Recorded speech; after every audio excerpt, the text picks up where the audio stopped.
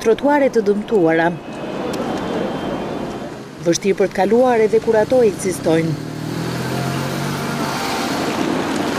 Këto janë disa nga zonat e populluara në kryeqytet, ku vendkalimi i këmbësorëve është amortizuar totalisht. Këto pamje i përkasin rrugës Sadik Petrela, drejt urës së Shkozës. Përveç këtij segmenti rruge të dëmtuar, trotuaret gjithashtu janë shkatërruar dhe qytetarët detyrohen të ecin në rrugë. Por nuk janë vetëm rrugët dytësore ato që kanë një pamje dhe një risk të tillë. Edhe në qendër të Tiranës është e njëjta problematikë tek trotuaret. Kjo zonë e Pjacës, që duhet të jetë edhe vendi simbolik i qytetit, prezantohet me këtë pamje.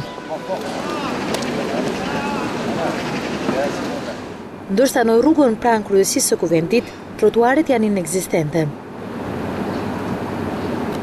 Të ngushta, të shkatërruara dhe të zëna nga bizneset, të cilat i shfrytëzojnë edhe për parkime. Nëse kalon në këtë zonë duhet të jesh i kujdesshëm, sepse duke ecur në rrugë rrezikohesh nga automjetet.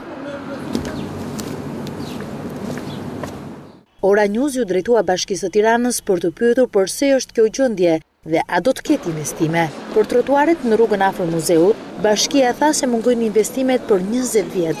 Bashkia e ka përfunduar tenderin dhe punimet pritet të nisin në mars pasi të ketë kaluar edhe sezoni i reshjeve të dimrit.